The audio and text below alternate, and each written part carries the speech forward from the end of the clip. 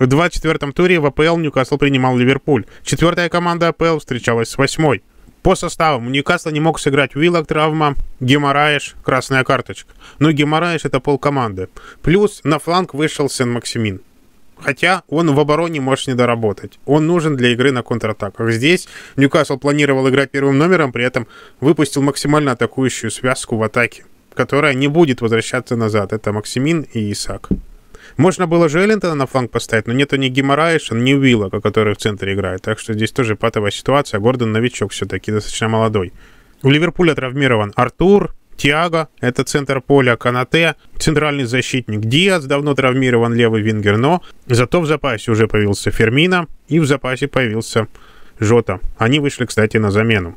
Ливерпуль играл такой же тактикой, как и Ньюкасл 4-3-3. Единственное, что у Ньюкасла на позиции левого защитника играет центральный. Это модель Сити, это модель Арсенала.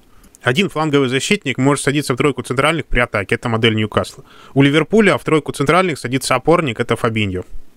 Первый гол Ливерпуля – высоко задранная оборона у Ньюкасла.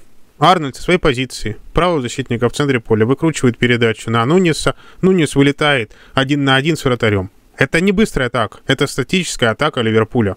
1-0. Ливерпуль повел. Дальше будет второй гол. Он очень похож, единственное, что расположение защитника было чуть ближе, уже к своим воротам.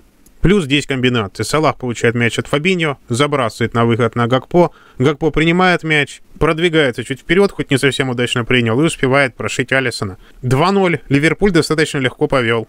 Дальше было удаление от Попа, когда Алисон вывел, считая один на один с вратарем, Салах, а Поп подумал, что, наверное, штрафной, и решил словить мяч. В итоге удаление красная карточка. Игрок матча Трент, хоть можно было дать и Алисону. Удаление сыграло злую шутку с Ливерпулем. Ньюкасл лучше играл после удаления, чем до него.